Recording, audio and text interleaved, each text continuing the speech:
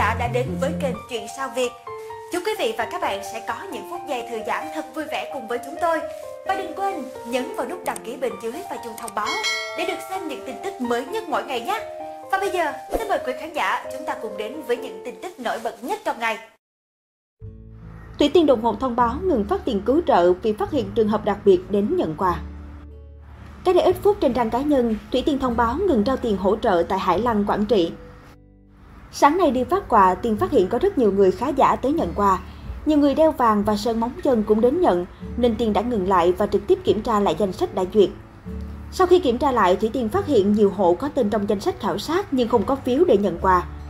Những phiếu đó lại do người khác đi nhận. Ngoài ra, rất nhiều hộ khó khăn, nước ngập sâu lại không có tên trong danh sách nhận hỗ trợ, mà phiếu lại ưu tiên suốt trò chuyện sớm.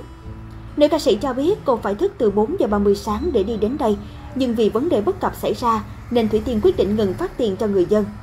Mong bà con thông cảm, Tiên sẽ ngừng phát tiền tại đây cho đến khi huyện xã sắp xếp lại danh sách đúng người cần giúp. Thủy Tiên và Công Vinh trở lại miền Trung cứu trợ người dân vùng lũ. Những ngày qua, vợ chồng nữ ca sĩ đã trao tiền mặt cho người dân ở Hà Tĩnh, Quảng Bình và Quảng Trị. Đến ngày 24 tháng 10, Thủy Tiên đã kêu gọi được 150 tỷ đồng để cứu trợ cho bà con.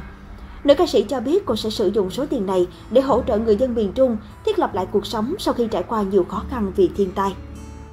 Xin chân thành cảm ơn quý vị và các bạn đã quan tâm và theo dõi video. Hãy nhấn vào nút đăng ký bên dưới để được theo dõi những video mới nhất được cập nhật mỗi ngày quý vị nhé.